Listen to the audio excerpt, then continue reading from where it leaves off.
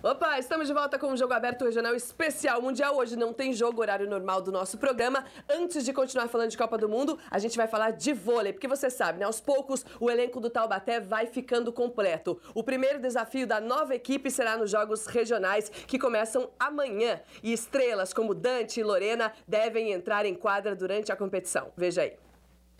Depois de alguns dias de folga para viajar com a família pelos Estados Unidos, o ponteiro Dante retornou aos treinos do Taubaté Vôlei esta semana.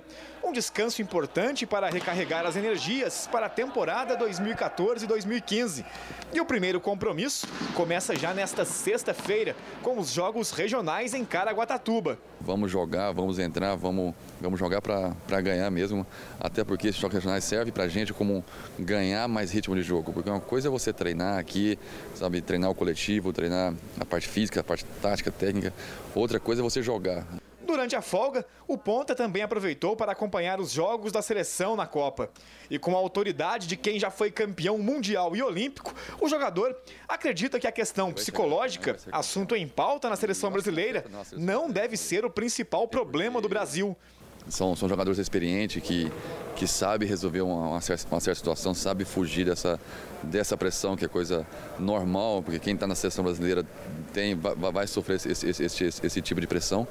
E eu, particularmente, acho que, que, que não, tem, não afeta em nada, que ao momento que você entra dentro da quadra, você acaba esquecendo tudo o extra-campo que está acontecendo lá fora, você acaba se blindando automaticamente, pensando somente no voleibol, aí sim, quando acaba, aí volta para os quartos, para casa e vai, e vai assistir a, a Copa do Mundo.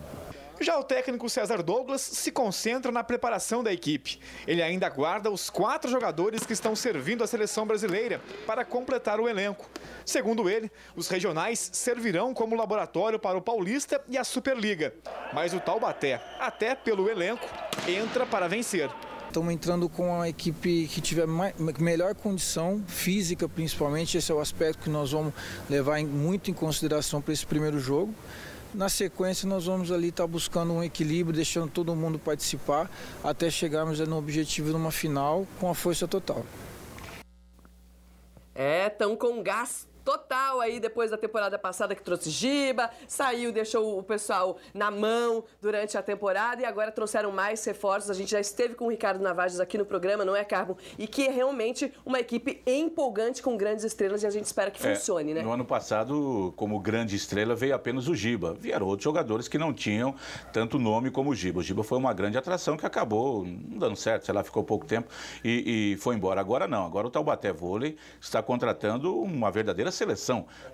Vimos o Dante aí, uhum. que até pouco tempo atrás era titular absoluto da seleção brasileira, um jogador espetacular quatro jogadores estão na seleção brasileira que infelizmente não faz uma boa campanha na Liga Mundial, ainda corre o risco até de não se classificar para a fase final da competição, que seria algo impensável até algum tempo atrás, que o Brasil é o maior vencedor da história da Liga e um time fortíssimo. Mas vem aí jogadores no nível de um Sidão, de um Rafinha, jogadores que vão dar ao Taubaté uma oportunidade de realmente pensar em disputar título, como disse o Ricardo Navages, quando aqui esteve conosco uhum. falando sobre a montagem do time. Agora é pensar só ali em cima na primeira primeira posição mesmo, muito bacana. É, e vamos ter inclusive o São José Vôlei e o Taubaté Vôlei disputando essa Superliga Nacional dessa temporada para esquentar e arrebentar também a boca do balão aqui no esporte da nossa região. Pelo nosso Facebook, continuamos falando de Copa do Mundo FIFA 2014. Você pode mandar a sua opinião. Qual será o placar do jogo entre Brasil e Colômbia? Tem mais gente falando aqui, ó. O Wagner Alves disse que acredita que depois daquele sufoco de sábado, o Brasil deslancha e ganha de 3 a 0 de, com dois gols de Neymar. É isso aí. E o Alex Cristiano Alves 2 a 0 para o Brasil, o Ronaldo Costa Costa 1 a 0 é o que basta. Ângelo Agnello, Agnello Pereira, Brasil 1 2 3 Colômbia 0 e o Carlos Alberto de Oliveira diz que vai ser um jogo difícil, 2 a 0 para a nossa seleção. Arrebenta Brasil, estamos com eles, não é, Antônio Carlos? o Agnello que nos acompanha sempre tem o maior estoque de aquele remedinho para dor de cabeça depois do, do, do sábado à noite. Sábado, final de semana tem que usar um estoque, né? Depois da ressaca, ainda mais agora que vamos ter o jogo do Brasil. Ó, a gente vai para um rápido intervalo, daqui a pouquinho a gente volta para falar de jogos regionais e mais Copa para você.